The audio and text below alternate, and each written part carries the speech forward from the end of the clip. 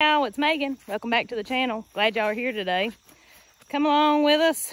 Um, on today's agenda, first thing, we were going to clean out the garden, but it has been raining all morning and it's still real dreary. Uh, we got to get these cows moved.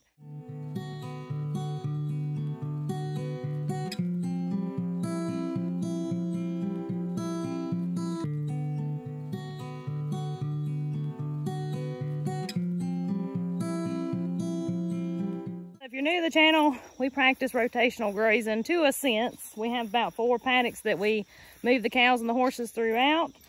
And uh, as you can tell, they've done a number on this pasture right here, which is actually what Andy wanted them to do. We left them in here a little longer than we should have, but Andy's gonna re-sow all this, especially up on that bank over there. So we wanted them to eat it down pretty good.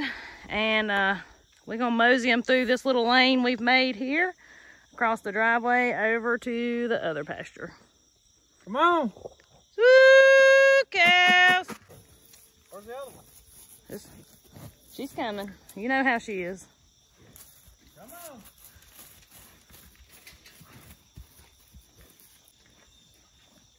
You're okay. Come on, baby. Come on, Quasi. Come on. Come on, y'all. Come on, Quaz. Does not like that wire. Come on, baby. He shall don't shut the gate back. Come on. Good boy. Come on, Betty Boo.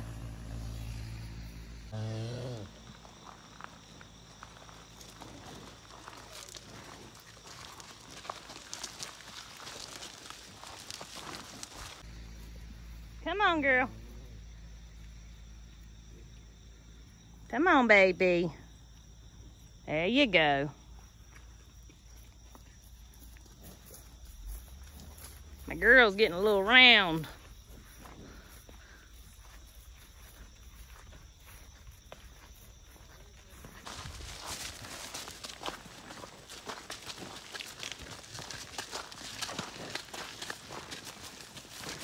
Y'all ready for that greener grass, ain't you?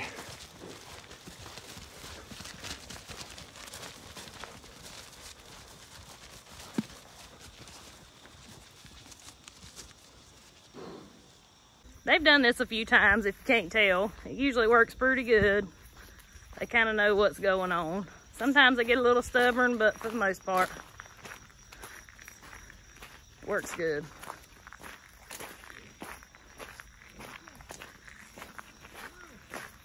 And so now what the plan is, we've got to get them to the back side of this pasture. It's the, la it's the place that's had the longest amount of rest. Andy's got the draw hook to the back of the four-wheeler. I mean, it works pretty good, guys.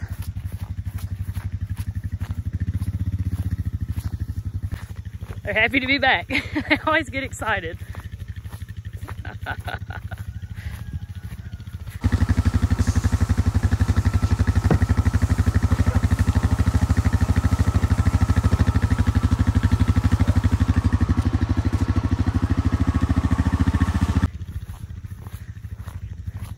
Come on. Come on. Hey, uh-uh. Uh-uh. Who cares? Come on. Ah, come on. Let's go.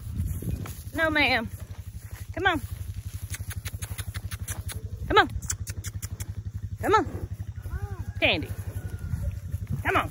Ah, cows. Come on. There you go.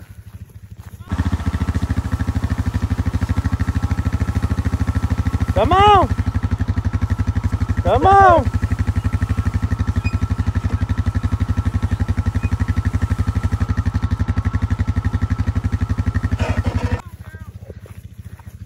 Not that way.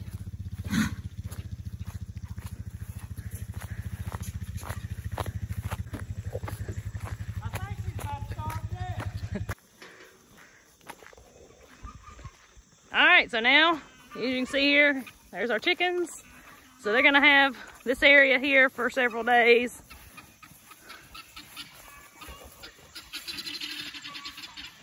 What's that, Quaz? You think Lovey's gonna stay in here? He, he's like, I don't know where I'm at. I mean, he's never been down here. I know. I guess we'll see. He knows how to get home. He's been out before. He'll be knocking on the back door here in about 30 minutes. Yeah, let me tell y'all a funny story about Lovey while I got you on here, Lovey the goat. He's a bottle fed goat, but he's about three years old, something like that. Anyways, when he was a baby, he could get out of the fence and he would come knock on the back door when he was ready for his bottle. So he would like wake me and Andy up at five or six o'clock in the morning when he was hungry and come uh, wanting his bottle like a baby, you know. So now, if he ever gets out, which has happened occasionally, uh, that's where he comes. He comes to the back door and comes and knocks on the back door. So we're actually going to try to leave him in here with them if he'll stay because, I mean, he likes the cows and horses. Whether they like him, I'm unsure. But see, I mean, they're not bothered by each other. Well, them cows is happy to get back over here on some good grass. Oh, yeah.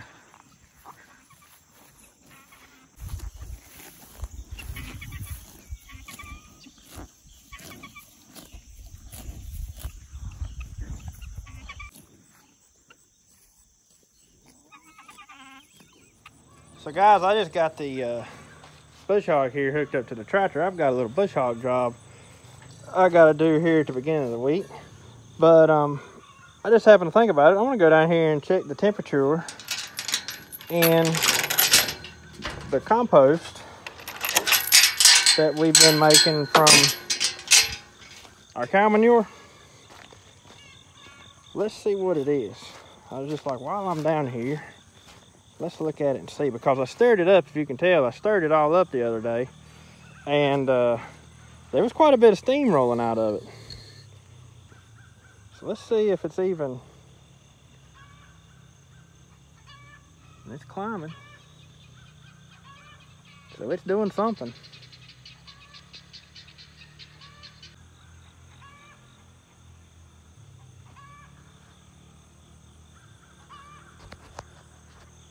it amazes me that something like that can heat up and create heat just in amongst itself.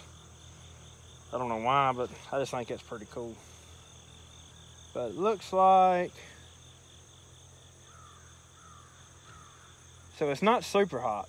Looks like it's gonna top out around 115. So that's fine. Um, we don't use this you know, we're not trying to make no fast compost or anything. We're just letting it sit. I occasionally stir it on whenever I think about it. And uh, we just kind of let it do its thing. And hopefully by next spring, it's ready to rock and roll.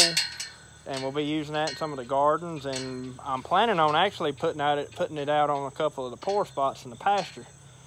Um, I'm actually going to do that here soon um, because I think it's fine to go ahead and spread on the pasture. And I've got some poor spots and I'm going to go ahead and reseed all of the pastures. Just basically sling, sling some good grass seed out on the pastures and some clover seed. Anyways, I just thought I'd check on that while we were down here. All right, guys, I also got to get breakfast made for the week. Usually on the weekends, I try to make a week's worth of breakfast. We're not bacon and eggs kind of people every single morning. Um, I typically don't usually eat breakfast. If I do, it's very little.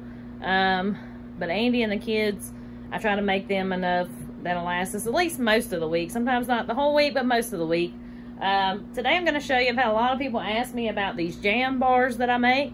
So I'm going to go ahead and tell you I ain't going to take credit for them. Um, please check out Venison for Dinner.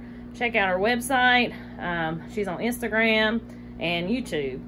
I have followed her for several years and this is her recipe. I'm just going to show y'all how I do it. I'm going to link the recipe in the description and in the comments to her website. the rest the what I do for our family is I actually cut her recipe in half. So what you'll see me doing is half of uh, what her recipe calls for.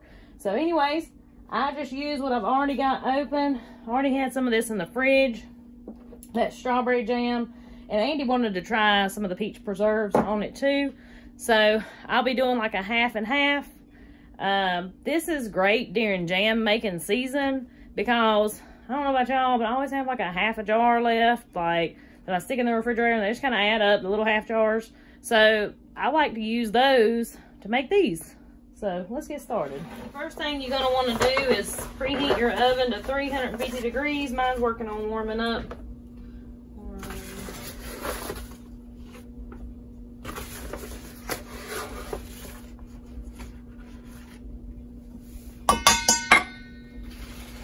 Then you're gonna need around two cups of all-purpose flour. That should be close enough. Then we're also gonna add a cup of quick oats.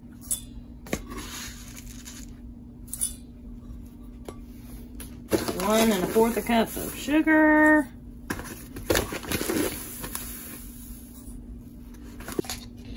A half a teaspoon of baking soda. Gotta get all this mixed up.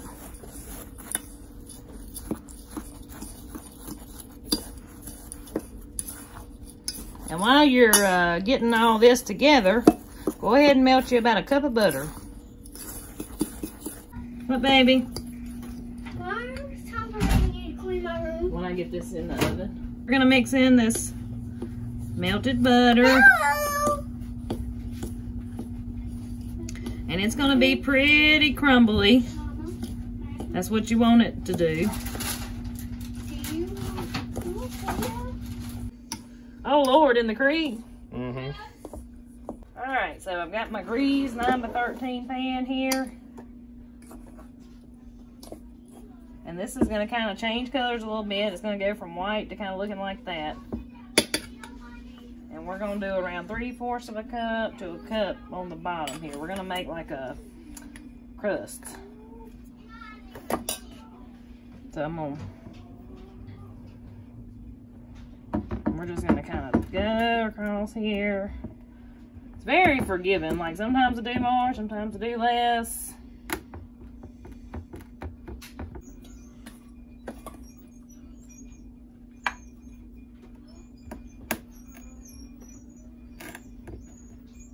So I'm just filling in the areas now where it looks a little thin for my crust. And I've got this grease. You can also uh, do this on parchment paper. Have any parchment paper right now, so I've done it both ways. This way works too. All right, so you just kind of mash that down. That's your crust.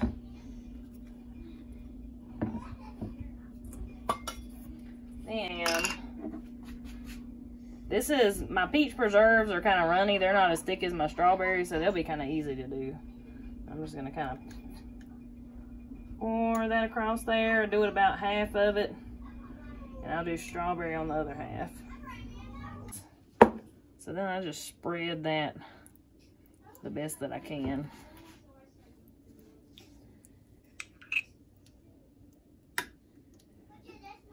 We're going to take the rest of our mixture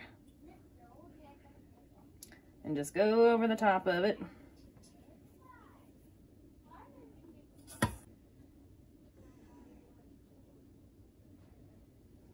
All right, that's gonna go in the oven for about 45 minutes. Now I'll show y'all what it looks like. Thank you, dear. Thing I'm gonna do while I'm down here at the creek is pick some more of my serendipity corn. Um, we've actually done picked probably two, three dozen ears off of this serendipity. And I tell you what, guys, we really like it. Um, it's good. I I put it up there with the Honey Select. Um, y'all know we're big fans of the Honey Select, and uh, this this goes right up there with it. But anybody who's ever grew serendipity, is it normal for the ears to be this small? I mean, that's a pretty small ear of corn. So I didn't I didn't know if that was normal or if uh, for some reason or another this land down here, I mean, you know, this corn was just lacking in something. But we've got a lot of them ready, and the coons hadn't got in them yet. Thank goodness. But we'll get me a couple more ears of this picked, and that way we can have it for supper. We've been having corn for supper every night for the past three or four nights now.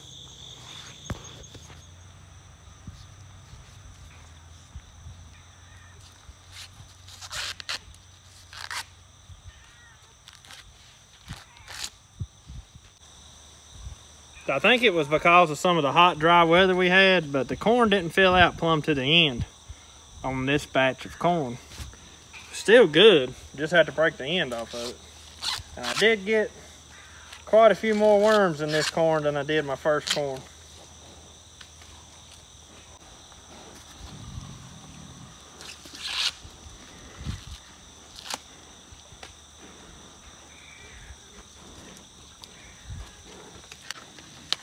So right there's what I'm talking about.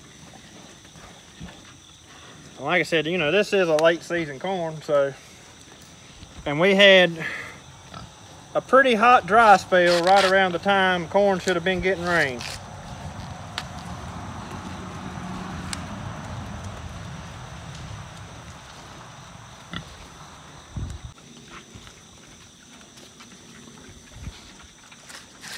I don't think we're going to try to freeze any of this corn because we've already got our freezer full. And uh, so we're just pretty much eating on this corn and giving a little bit of it away here and there. We don't have a ton of it though. I mean, it's not, it's not bad looking. They're just short.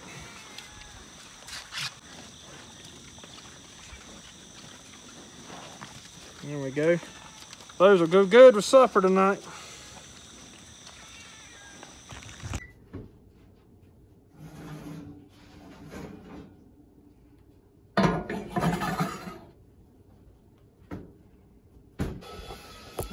Guys.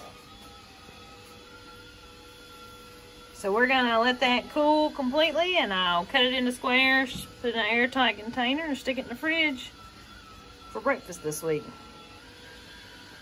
Basically that's how I wrote them. All right. And then you got smashed down a little bit. Then you turn that. And then smash it a little bit. Then down there. And then, it's perfect. And that's how you take them off. This. Hmm, where is it? Got an end's got to be there somewhere. There. And this is the one where you get off. You gotta keep it on here so it won't stick. Good job. Um, we tried cutting a whole lot. That Dad wanted to do one, but he just went back outside. He missed his opportunity, didn't he? Yeah, and we done did the last two. See? Look at that empty plate. That's the imperfect one. Look at this perfect big one. That is a good one. It's burrito night, ain't it? Yep, it's we're having burrito chicken. All right, so my jam bars have completely cooled off. So now I've got them cut in tiny little squares here. And I'm just gonna get them out. I'm gonna show you what the bottom looks like. I just put them in here. And then they'll go in the refrigerator.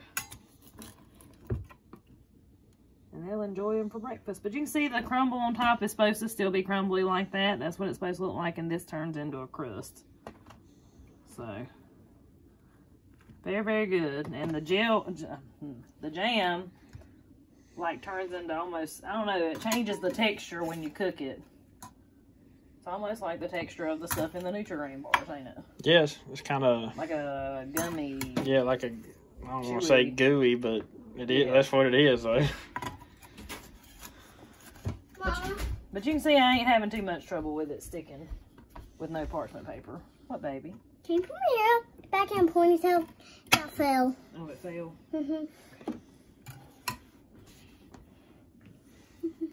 I think your rainbow's about gone.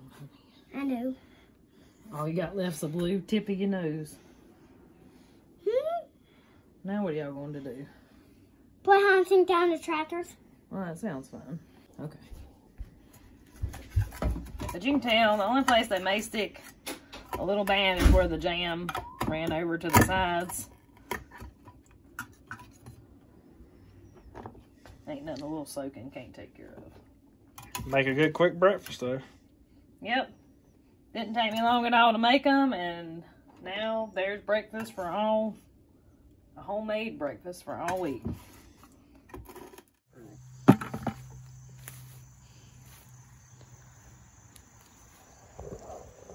Oh man, boy, back out of a bag and hanging. So we come out to the garden. Um, the turkeys are gone. Watch that video if you hadn't already. But we're just picking some of the tomatoes. I've done all I can do with tomatoes, y'all. I know I've had people say, well, you still need to put up everything you get. When I tell y'all I don't have room for any more tomato products, I ain't kidding. uh, and I'll be showing y'all, you know, some of that maybe towards the end of, closer to the end of the season. But anyways, we're going to take some of this to the chickens and just give them something to munch on so they don't go to waste.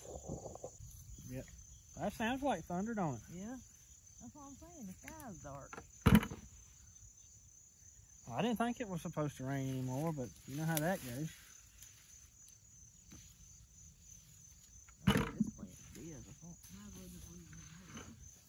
Yeah, I wasn't fool with them.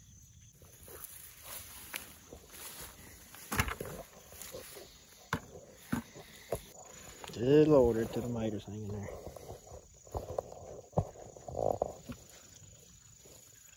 I know they sure are pretty. I wish. I wish I should. I should have waited on them to do my spaghetti sauce. What I should have done. For these. Mm-hmm. Well, all these got sunburnt too. Look at that. Yeah. Every one of them got sunburnt. Well, these didn't. But it's been hot. You hear me? Yeah. Well, those right there sure did. There's a weak plant. Megan. Yeah. But this bucket's already full. That's going to be heavy to tote. They don't like use it. Come take over. Yeah. That's all we're going to get in there. Yeah. Chickens are going to like that. Yeah, they are. Parts left to come. Clean up this. It didn't bust.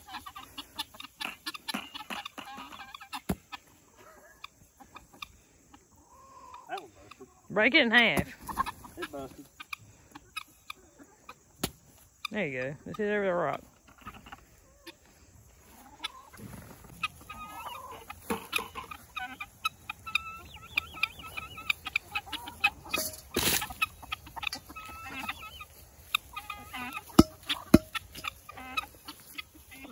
Nothing for you in there.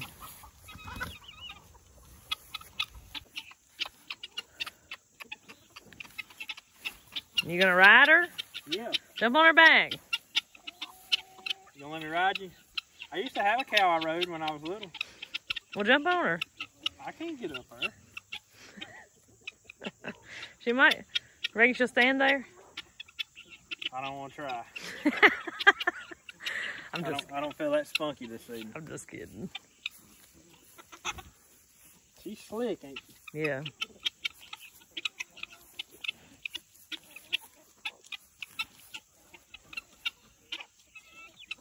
To be a bottle calf, she's really turned into a pretty cow. What are you doing? I bet you won't let me rub on you like that. Poor Candy.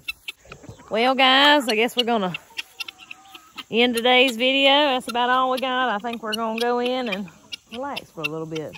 What do you think? Maybe. Uh, we'll probably find something to do between here and the house. Yeah.